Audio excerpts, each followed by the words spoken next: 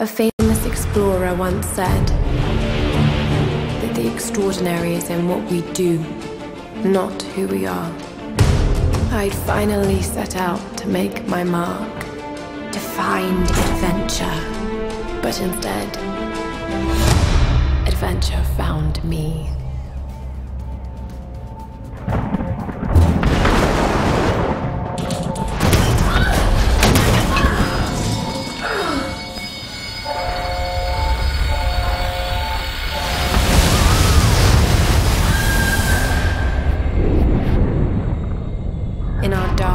Moments. When life flashes before us, we find something. Something that keeps us going.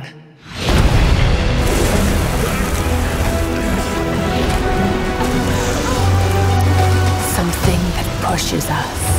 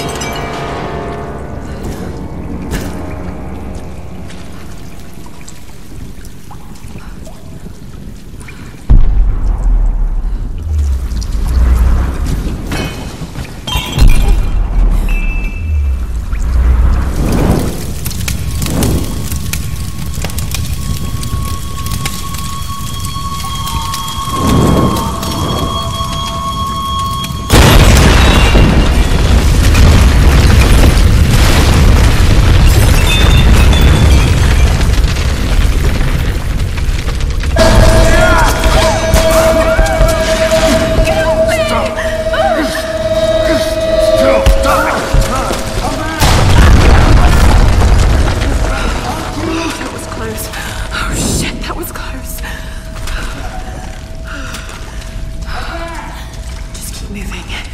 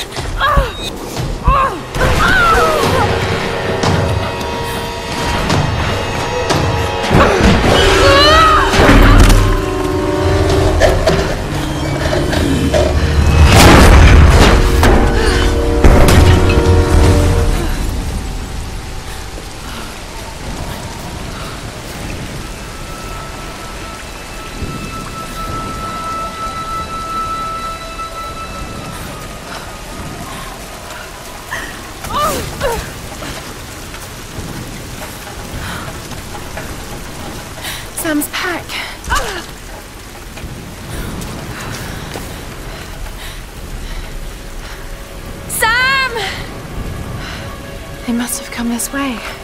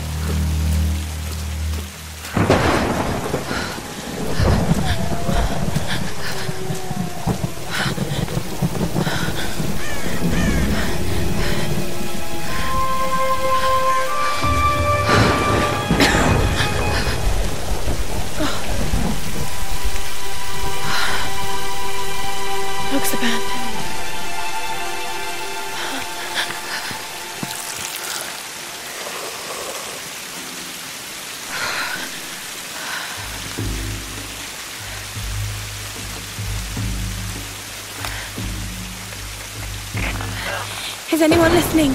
Please respond.